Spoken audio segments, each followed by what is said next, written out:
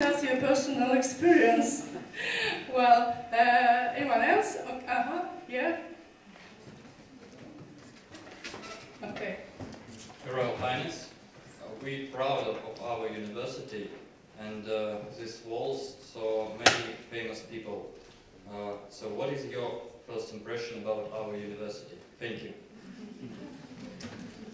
Uh, thank you. I've only been here for 20 minutes or so, um, so I, I, came in the front. Um, uh, but in any university, it's it's uh, the students that's the most important component. So from what I'm hearing from you and your energy, I'm very impressed. I thought that your comments uh, in the beginning here and your questions now uh, are very good. So um, yeah, I'm impressed by that.